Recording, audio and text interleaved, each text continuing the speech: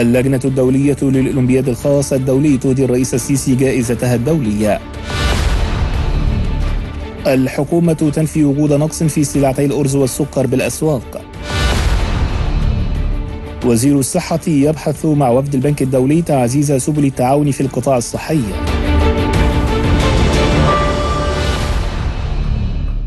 صرح المتحدث الرسمي باسم رئاسة الجمهورية أن الرئيس السيسي تسلم الجائزة الدولية للأولمبياد الخاص الدولية والتي تعد من أرفع الجوائز التي يتم منحها للملوك والرؤساء وأصحاب الأيادي البيضاء على رعاية فئة ذوي الاحتياجات الخاصة وتقديرا لما يقدمه سيادته من دعم لهم. وقد قام وفد من رؤساء الأقاليم العالمية السبع للأولمبياد الخاص الدولي بحضور نيفين قباج وزيرة التضامن الاجتماعي بتسليم الرئيس السيسي الجائزة صباح اليوم بقصر الاتحادية. ومن جانبه أكد الرئيس السيسي على الامتنان لمنح سيادته الجائزة الدولية للأولمبياد الخاص الدولي والتي تعكس التقدير لجهود مصر المستمرة في تجسيد الرسالة الإنسانية تجاه ذوي الهمم والاحتياجات الخاصة. تلك الرسالة التي تقوم على قيم الحب والاحترام والتقدير لهم وأنهم قادرون باختلاف.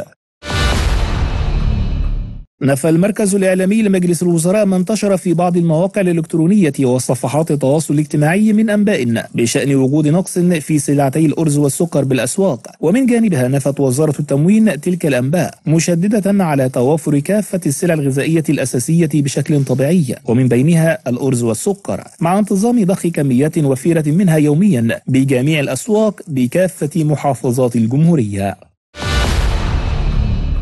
استقبل وزير الصحة والسكان الدكتور خالد عبد الغفار المدير الإقليمي للتنمية البشرية في منطقة الشرق الأوسط وشمال أفريقيا بالبنك الدولي والوفد المرافق لها لمناقشة تعزيز سبل التعاون في القطاع الصحي. وتناول الاجتماع مناقشة توسيع آفاق التعاون في مجال تنمية صحة الأسرة كما ناقش الوزير الخطط المستقبلية للتعاون بين المجلس القومي للسكان والبنك الدولي.